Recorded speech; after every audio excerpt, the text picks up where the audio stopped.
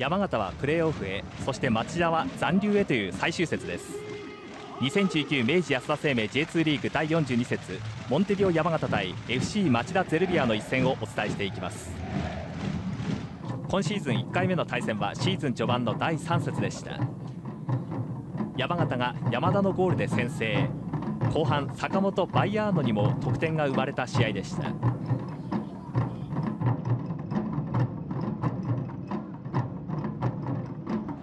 では山形のスタメンです。最終節ベテラン加賀がスタメンに入りました。3試合ぶりの先発です。シャドウには前節ハットトリックの山岸が入っています。そしてフォワードバイヤーノは今日もメンバー入りしませんでした。町田のスタメンです。前節と同じ11人です。ボランチにはベテランリハンジェが3試合連続で先発です。そしてロベロ・フランクがメンバー入りしました。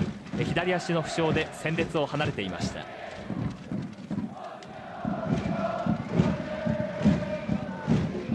ここもまずは裏狙い中島へ。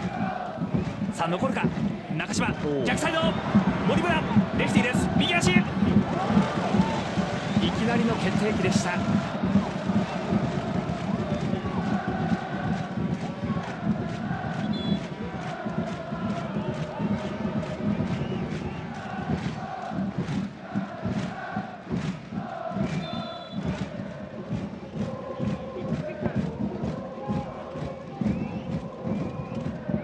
大月幅を作って山田。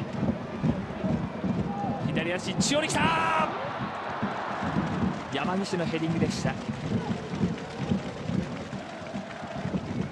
一つ中で大月が起点を作ってサイドからのはい。山田のクロスでした、さあここは右足の平戸が蹴ります。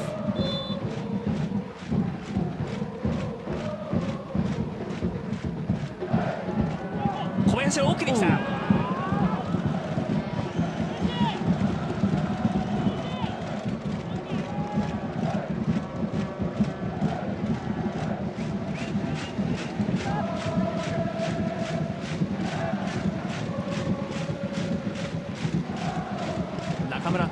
鋭く来た。流れる栗山栗山よく止めました。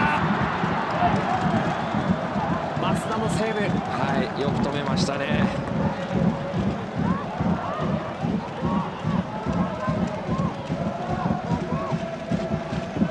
ここまあ勝利しきれなかったわけですね。はい。足ですか左足最後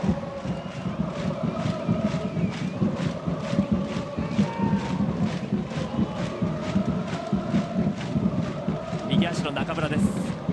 遠いサイド。シュート。後半の立ち上がり。先制点山形大月です。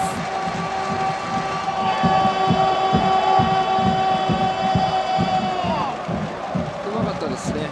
あのタイミングのずらし方がね、まあ、まずボールの近くで坂本選手がタイミングずらして、はい。あのーファーサイド、ここ大月選手だけじゃなくて柳選手もこう外れたかなと思ったんですけど森村選手がこう1人で2人を見るような形になったんでえでうまく大月選手が前にこう入ってこれたというところで。え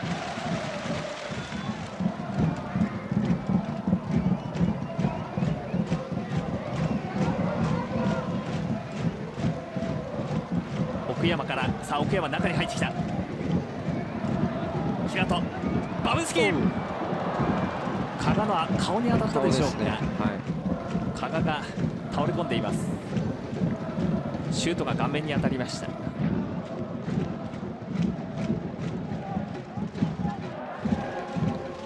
さあここでロメロ・フランクが入ります。森村との交代です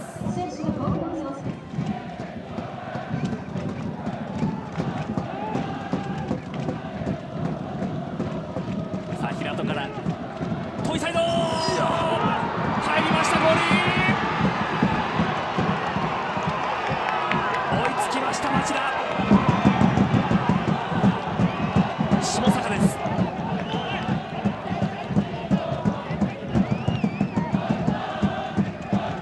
いやー下坂選手ですか、これ山田選手がついてたんですけど山田選手飛べなかったですね。はい。まあ、その一足先に下坂選手が飛んだんで、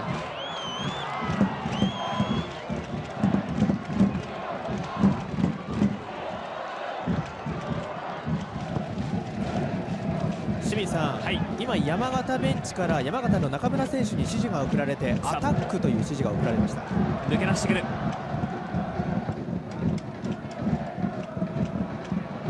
さあもう一度中島。うまい。バブスキー入ってきた。バブスキー折り返した。逆転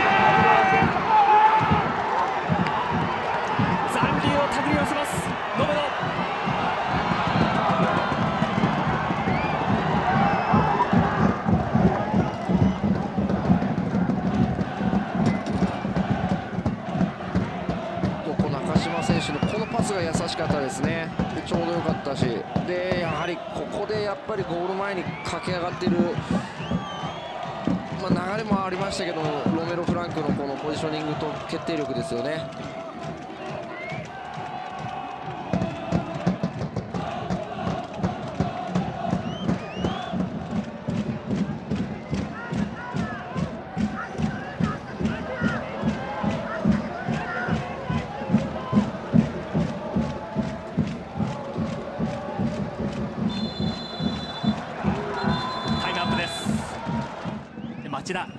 J2 残留決定です。